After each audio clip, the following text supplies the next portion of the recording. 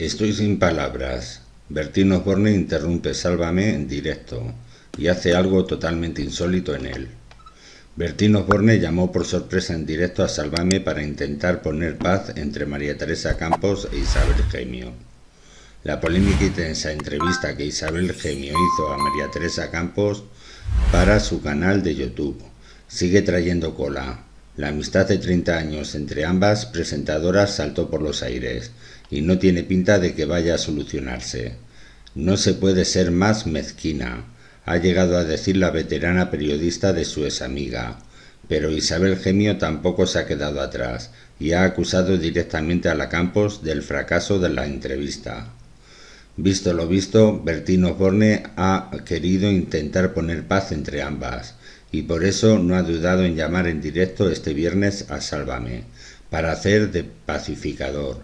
Muy sorprendido por este inesperado enfrentamiento, el cantante y presentador ha intentado mediar entre sus compañeras.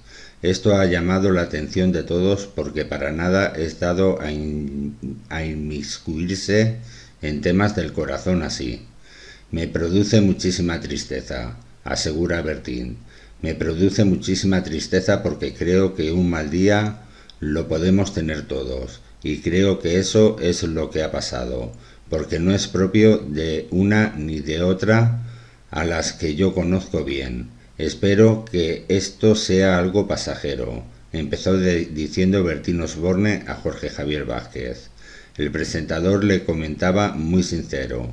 Creo que este medio en el que trabajamos en algún momento de nuestra vida se nos va a pagar o pasar factura, mientras que Kiko Matamoros añadía, es verdad, no es normal que salgan testimonios así de repente.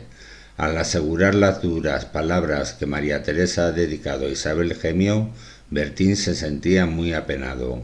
Jorge Javier, intentando darle un toque de humor al asunto, comentaba, es triste, él ha, él ha entrado de pacificador y se ha encontrado con la guerra del Golfo, a lo que el presentador sentenciaba.